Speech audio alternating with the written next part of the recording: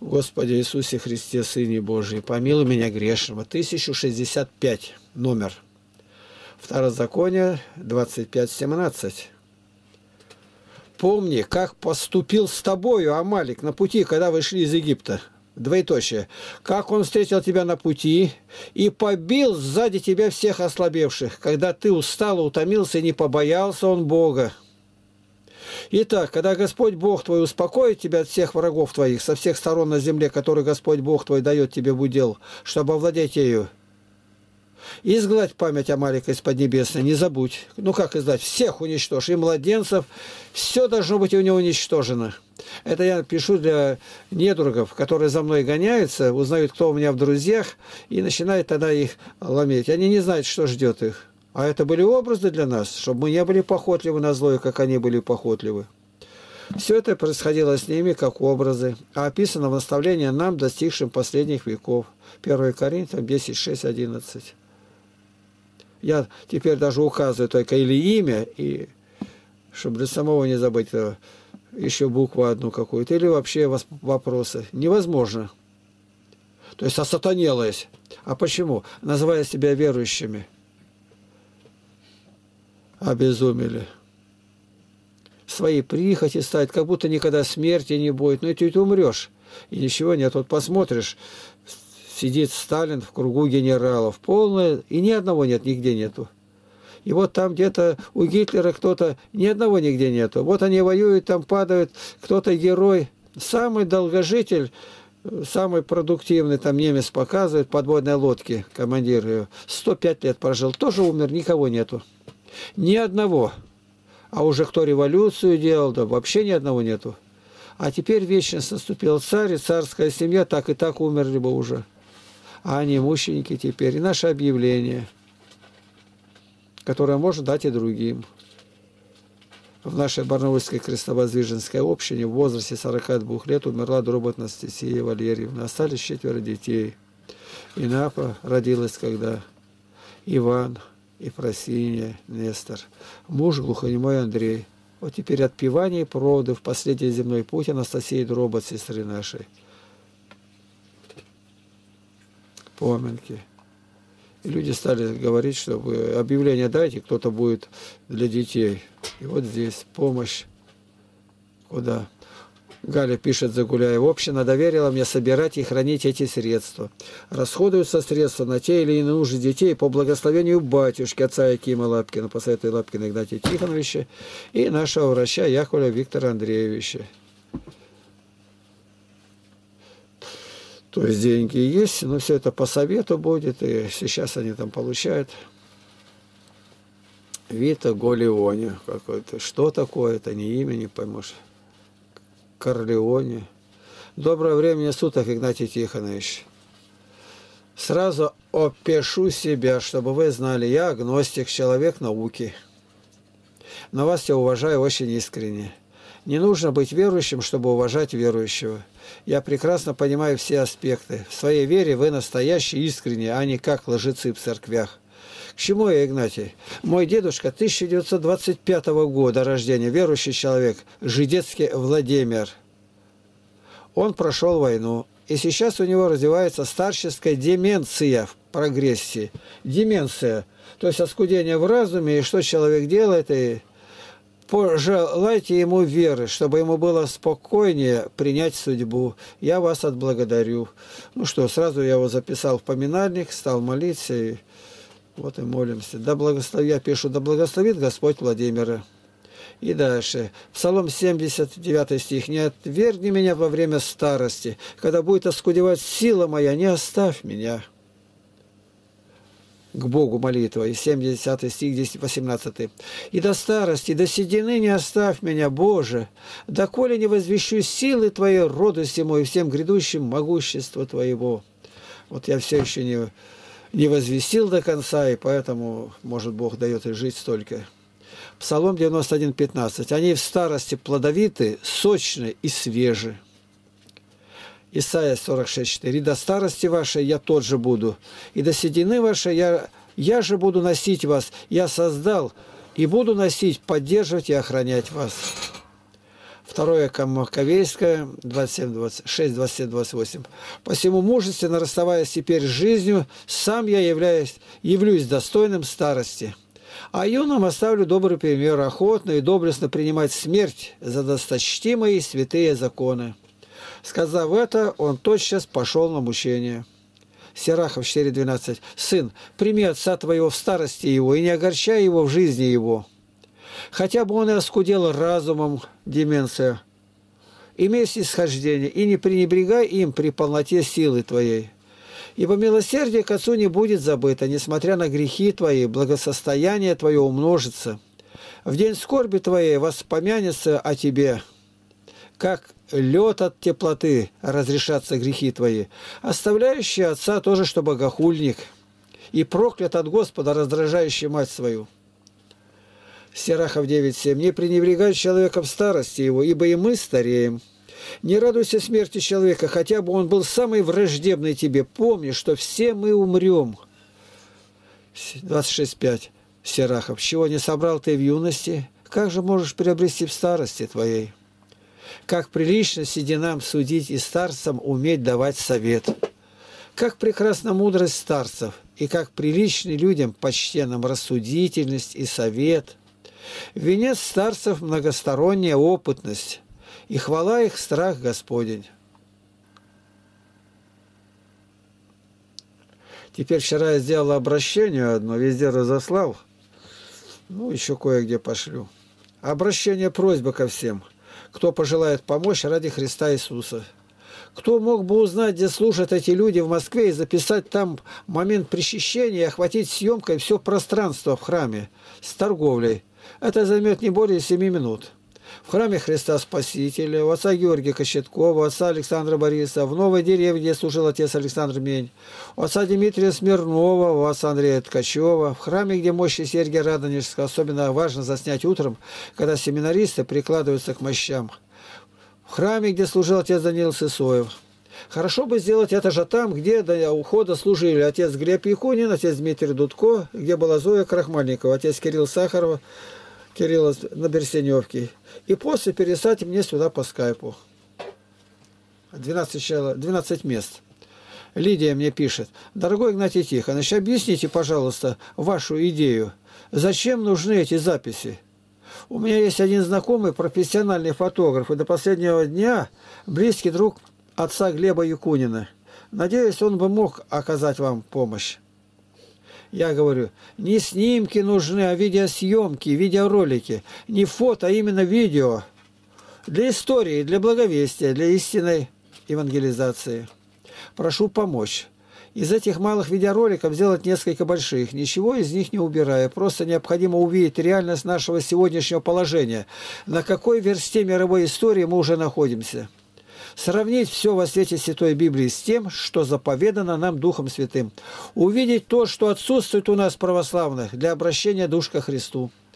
Наше положение не просто плачевно сегодня, а кажется, что бесповоротно выжжено равное деянием апостолов в самом сознании, что вот мы есть самое истинное во всем храмовом.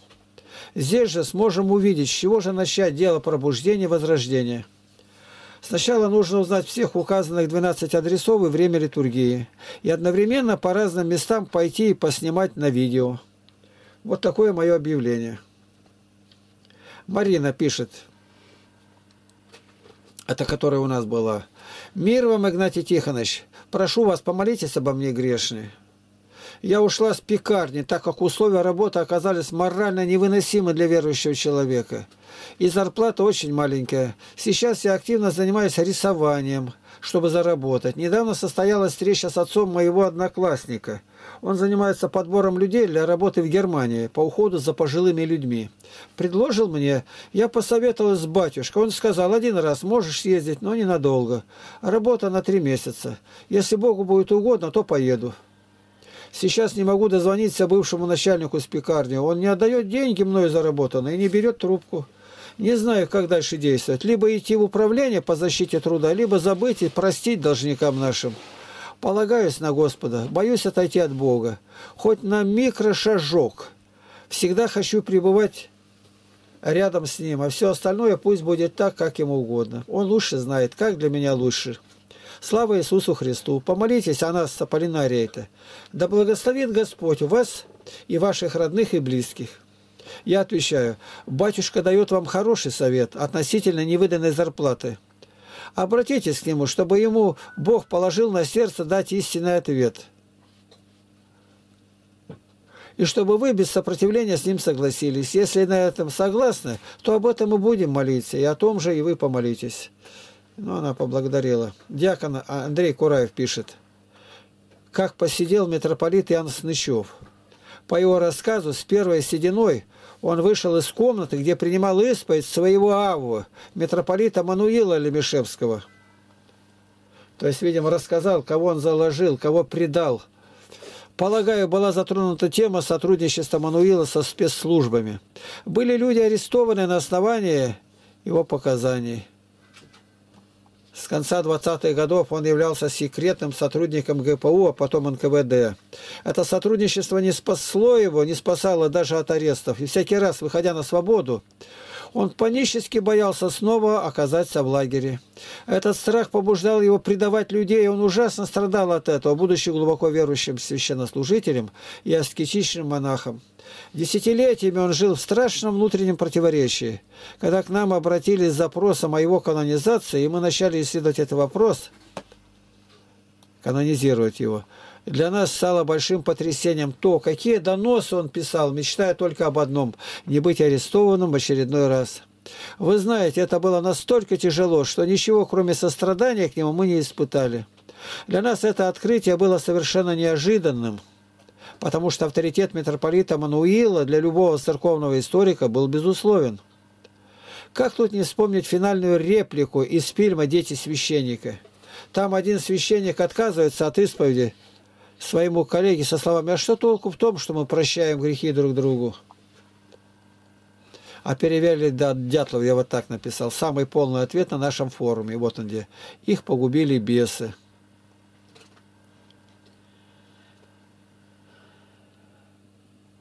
Мне пишут. Сделайте короткий звонок, передайте привет от меня из Америки и попросите электронный адрес. Мы общались, когда еще не был так активен компьютер. Он был профессиональным фотографом в Патриархии, а теперь прекрасный видеооператор. С отцом Александром Менем и отцом Глебом Якониным учились вместе в Пушном институте и с тех пор дружили. Надеюсь, он здравый и активен. Всегда держится на дистанции от новой деревни, где служил отец Александр Мень. И отец Александр Борисов, поэтому, надеюсь, захочет вам помочь. А знаете ли вы, что дом-музей отца Александра Меня закрыт? Я говорю, нет. Теперь новый материал дали. Скорость ходьбы указывает на продолжительность жизни. Если вы начали ходить медленно, стоит пройти обследование. Исследования какие. Вот он, как шагает человек. По скорости ходьбы можно с довольно высокой степенью точности прогнозировать приближение смерти, говорит доцент отделения биокинезиологии и физической терапии Университета Южной Калифорнии Кристина Дьеле Конрайт. -м. Как говорится в пресс-релизе университета, Дьели Конрайт и ее коллеги специализируются на изучении того, как физические упражнения влияют на здоровье женщин, переживших рак груди. И скорость ходьбы – один из показателей, на которые ученые обращают внимание. Я бегал на работу, а там через линию перепрыгивают, там, я не знаю, ну, может быть, там семь этих железнодорожных путей перескакивать. Я все время бегом. И как-то меня рабочие спрашивают, кричат, говорят, вы шагом-то умеете ходить? Я тут шел как-то с Макаром Сергеем Сергеевичем, а он, кажется, моложе меня. А может быть и нет. С Лобни, Лобни там, корреспондент приезжал. Ну, идет так тихо. Я говорю, ну, что ты так идешь? Да старик, да ну я не... Я говорю, давай так, ты иди как хочешь, а я как могу. И я пойду вон до того столба, там столбов пять впереди, видать, далеко. Вот около него я остановлюсь и не оборачиваюсь. Как ходил, тогда его нету, и я пошел. Дошел, обернулся, он почти наполовину от меня отстал. Вот и все. Ну, тут нельзя ничего говорить, это внутри человека. Как показывают исследования, чем быстрее человек ходит, тем лучше его здоровье и наоборот. С ухудшением состояния, связанным с тяжелой болезнью или же с курсом лечения от нее, силы уходят, и человек начинает медленнее ходить, пояснила Дели Конрайт. По ее мнению, оценивая текущее состояние здоровья пациентов, особенно пожилых, врачи должны не только смотреть на показатели артериального давления или на индексы массы тела, но и на скорость, с которой люди передвигаются. То, как человек ходит, также помогает определить его биологический возраст, который может быть меньше или больше хронологического. Если вы заметили, что стали ходить значительно медленнее, чем прежде, стоит обратиться к врачам и пройти обследование, так как это может быть первым сигналом о том, что организм поразила тяжелая болезнь, подчеркивает Дели Конрайт. Считайте также, какие выводы можно сделать о здоровье человека. Сколько я вам говорил, всегда – все идут, тянутся, лет 30 назад уже говорил, черепашки. И дальше, здоровье сердца можно предсказать по силе рукопожатия. Такую диагностику назвали простой и доступной. Результаты исследований специалистов из Университета Королевы Марии и Оксфордского университета Великобритании опубликованы в журнале PLOS ONE. Ученые сравнили силу рукопожатия и данные МРТ 4654 людей и пришли к выводу, чем сильнее рукопожатие, тем лучше работает сердце и ниже риск сердечно-сосудистых болезней. Испытуемые прошли обследование дважды с интервалом в 6-7 лет. Были учтены все факторы, которые могут повлиять на результат. Уровень физической активности, изменения в мышечной массе и так далее. И выяснилось, что у людей с крепким рукопожатием сердце менее массивное, при этом за каждое сокращение оно прокачивает больше крови, а значит снижается риск проблем с этим органом. Измерение силы рукопожатия может стать простым и доступным методом выявления людей из группы высокого риска сердечных болезней и предупреждать инфаркт. Предупреждение инфаркта отметил один из авторов исследования Стефан Петерсон. О том, что по силе рукопожатия можно судить о состоянии сердца и здоровья в целом, ученые говорят уже не первый раз. Я стихотворение всем послал вчера. Псалом 121, 7. «Да будет мир в стенах твоих, благоденствие в чертогах твоих». Эпиграф.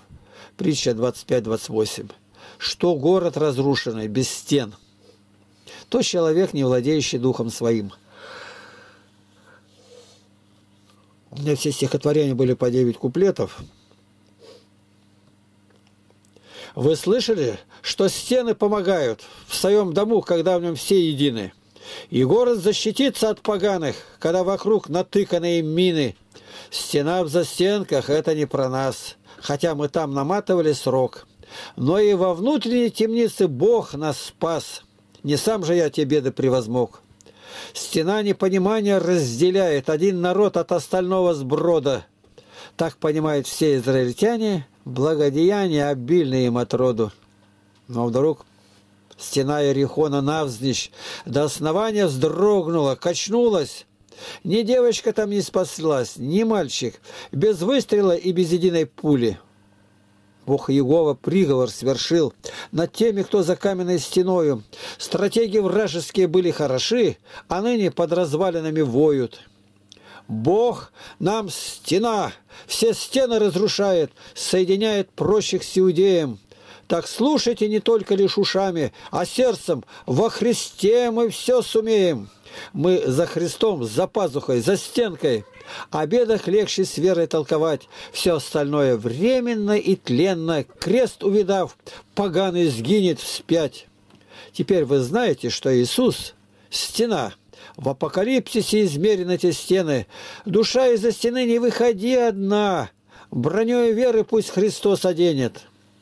Сектантские плетни и городьба смешны убоги, от дуновения рухнут. Где гордый тир, там сушит сеть рыбак. От стен гигантских не осталось слуха.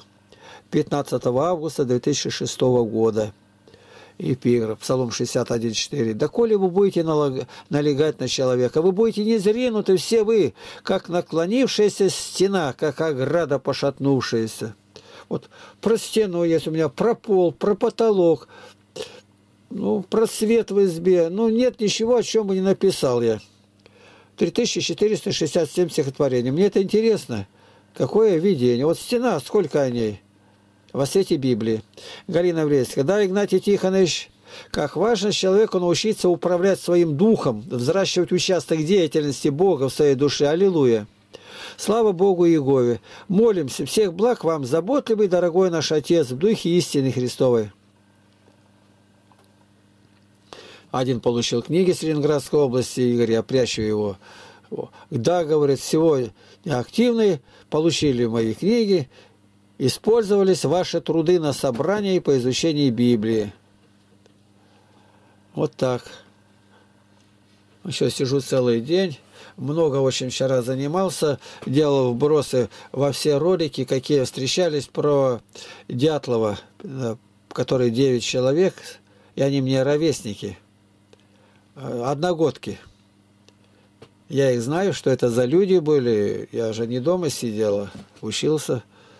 Вот. Так.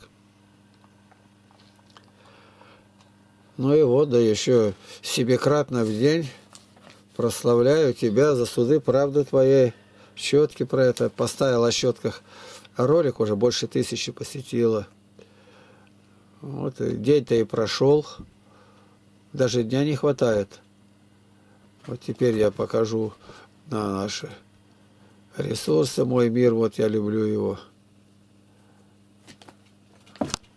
Вот я тут что то залез, пришел с матерью рядом малышок. Лезет сосать охота ему. А она ушла. А он остался тут один. Вот тоже пока смотрел, это мое время, оно уходит. Вот здесь в моем мире легко переписываться. Где я с голубем, там не надо. Там просто дубль дают и все. И вот э, наш православный форум Игнатия Лапкина. Более да, 1602 темы, темы. Вот вчера сколько? 248 человек пришло. Это у нас хорошо считается. 248-то, если я нигде не был, сижу дома. Ну и вот сегодня ночью встал, поставил. Вот.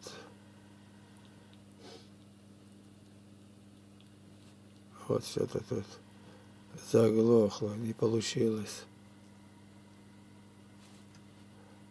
Ну что ж такое. Сейчас посмотрим. Тот отключила нас, система, видать. Вот и как показывая, и нету.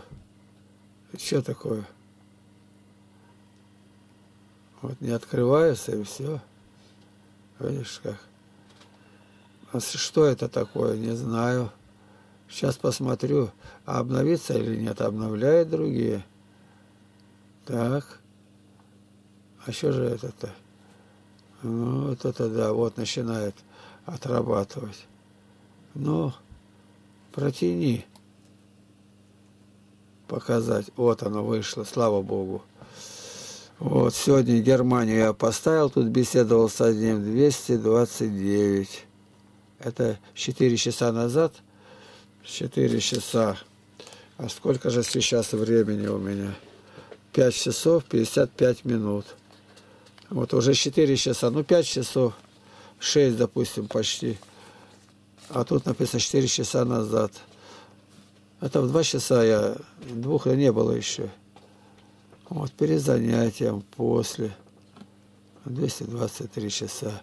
А вот уже сутки-то прошли вчера. Вчера ставил лестовки четкие. Нужны ли при молитве в духе истине? 1248. Вот уже как увеличивается сразу. Вот Юрий тут.